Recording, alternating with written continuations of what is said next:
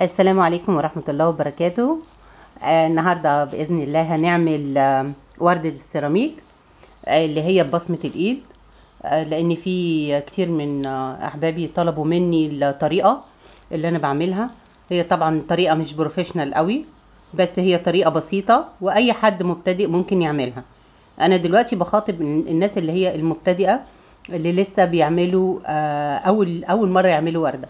فهعرفهم إزاي يعملوها بطريقة بسيطة جدا وسهلة وتدي برضو نتيجة شكل حلو. أوكي؟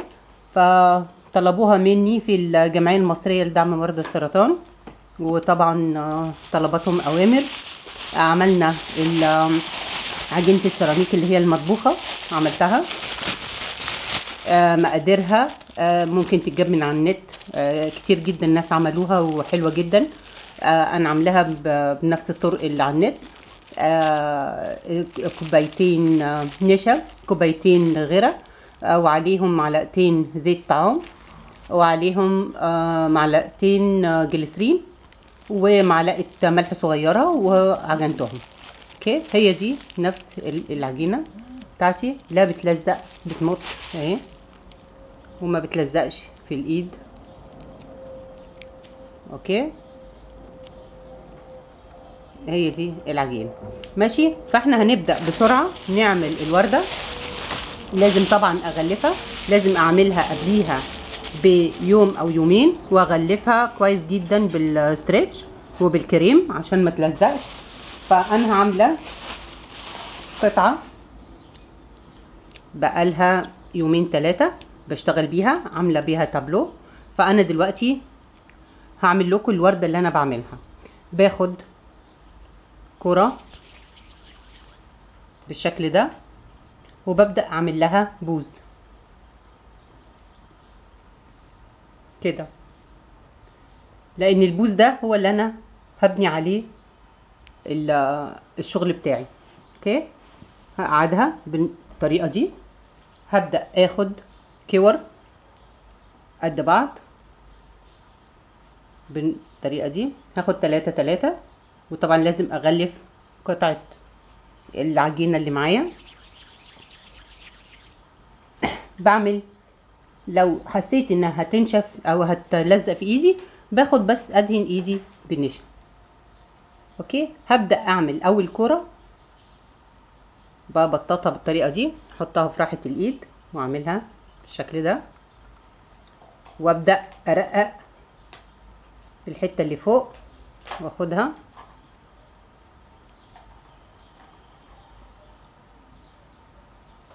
بالشكل ده وهحطها على البوز اللي أنا عملته. كده أهو. وهقفل عليها بالشكل ده. دي أول حاجة ده البرعم اللي جوه الوردة نفسه. خلاص هبدأ أخد واحدة تانية. بنفس الطريقة. بإيديا أنا ليه بنسميها ببصمة الإيد؟ لأن أنا بعملها ببصمة إيدي بصوابعي. ما بعملهاش بقطاعة ولا بالأدوات اللي هي بتاعة الترقيق والحاجات دي كلها مع إنها موجودة عندي. لكن أنا عايزة أعمل حاجة بسيطة أي حد ما عندوش إمكانيات ممكن يعملها. هاجي أنا عايزة دلوقتي هحط دي هاجي أبدأ من نص من نص دي من هنا وأحطها بالشكل ده وأقفل عليها. بس ما اقفلش قوي لأن أنا عايزة دي تبان كده مفتوحة. خلاص؟ آخد رقم ثلاثة هبدأ أعملها برضو بنفس الشكل كده وأبدأ أرقق اللي فوق اللي هي هتبقى ظاهرة عندي لأن كل دي واعمل لها كده شكل بحيث إنها تبقى باينالي زي ورقة الورد بالظبط بالشكل ده. هاخدها. هحطها برضو في نص دي. بالشكل ده. وأبدأ أعمل لها بوز كده. بالظبط كده زي ما هي قدامكم أوكي. ده الجزء اللي هو اللي جوه اللي جوه الوردة. ده اللي أنا هبني عليه الأوراق. ماشي؟ هخليها كده. هبدأ أخد تلاتة كمان تلات كور كمان. الورق اللي أنا هبنيه ده هيبقى داخل في بعضه. يعني هلزقه من مكان من ناحية. أوكي. هلزقه من مكان وأسيب المكان التاني مفتوح. بالظبط كده. زي ما بعملها كل مرة. بس بحضر الحاجة اللي جنبي. كده بالظبط وهبدأ أحطها في راحة اليد وأعمل لها التقويصة اللي هي بتاعت ورقة الورد. كده هاخدها. هاجي من نص الورقة دي من نص الورقة وهبدأ إن أنا أحطها. كده بالظبط وما أقفلش عليها أخليها كده. أنا مش هقفل عليها وأحطها هنا. اخد الورقة التانية. الفكرة دلوقتي هتوضح لكم. أنا عملت الفيديو ده عشان كل حد بيسألني على الطريقة أو اللي ما حضرش ال course بتاع الجمعية المصرية لدعم مرضى السرطان يبدأ إن هو يشوفها ويتعلم. okay؟ هبدأ أخد دي الورقة اللي أنا عملتها الجديدة وأحطها جوه الطرف ده. أوكي؟ هبدأ أحطها كده. وأقفل عليها.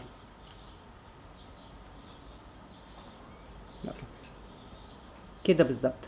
وأطلع الشكل ده. أنا عايزاها كده. وهسيبها برضو مفتوحة. مش هقفلها. وأخليها جنبي. أبدأ أخد الكورة التانية. أو التالتة. نفس المرحلة أعملها. نفس الشكل ده بالظبط. هبدأ. احطها كده. اخدها هاجي جوه الورقة اللي أنا سايباها مفتوحة وهحط نصها وهقفل كده. بس مش هقفل دي. بنفس الشكل ده. وهحطها كده تاني. وأبدأ آخد ورقة كمان أو كورة كمان.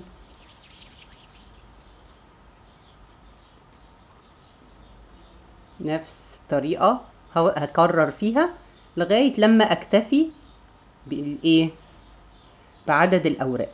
هحطها فين؟ جوه مش بره جوه. جوه الورقة. وأبدأ أقفل. وأسيب برضو دي حرفها مفتوح. بصوا كونت لي إيه؟ كونت لي شكل جميل جدا. في النهاية هبدأ أفتح فيه وأعدل الأوراق أديها الشكل الطبيعي. okay؟ هعمل ورقة كمان ونبدأ. نشوف إحنا بنعمل إيه. شايفين العجينة؟ ما بتلزقش في الإيد ولا بتحتاج حتى نشا ولا بتحتاج أي حاجة. بس لازم تقعد يومين طبعا محفوظة بعيد عن الهواء أوكي أدي الورقة.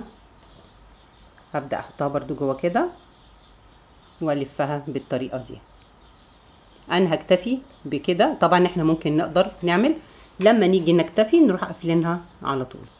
أنا هكتفي بكده هبدأ أعمل كده. أفضل أضغط هنا لغاية لما تطلع لي الوردة نفسها. الطريقة دي.